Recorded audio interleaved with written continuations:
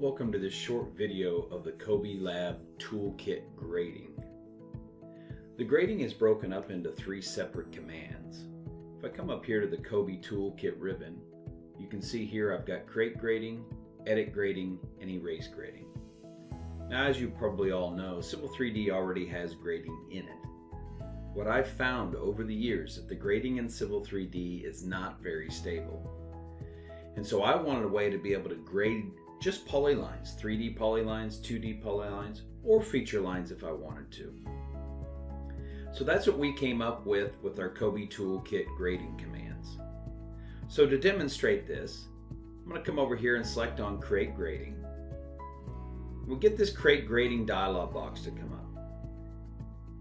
One thing that we can do in here is we can create a template of our grading. And so I'm going to start this over from scratch here. I'm going to go ahead and just delete a few components here. At the top, I'm going to give this grading a name, and I'm going to call this one Pad 1. The template I'm going to use, I'm going to leave that as is right now. I'm going to create my own. So I'm going to click on the plus sign. So the first thing I want to do is I want to do an offset and a slope. I want to do a uh, slope here, so I'm going to go to the drop down. I'm going to do a 1 in, 1 and n, and the slope I'm going to do is I'm going to say it's 1 and a negative um, 10. And the offset I want to go is say uh, 10 feet. Now, I'm to add another one. This one's going to also be an offset and slope. My slope format, I'm going to change that one to a percentage. And that percentage is going to be a uh, negative 2%. And the offset is going to be 5. And let's add one more here. Instead of doing offset and slope, what I'm going to do here is I'm going to come down and I'm going to say, uh, let's go to slope to surface. My slope format, once again, is going to go 1 and n. My cut slope, I'm going to say is 1 to 2. My fill slope is going to be 1 to 3. And I am going to grade to the existing ground. And now I'm just going to save this hit the plus sign. I'm going to call this one demo one. I'm going to go OK. All right. Now before I finish here, I'm going to say yes, go ahead and create a grading surface and it's going to be called this. Whatever your grading name is, that's what the grading surface is going to be called. You can set your style in here and you can automatically do your infill. Other things I want to look at here, just go to options. We've got our sample interval um, we've also got our angular spacing and then our mid-ordinate distance for our curve tessellation. So this is just going to control the lines here. Our slope format is going to be rise over run. We're going to draw the rays. Those are those lines I was talking about.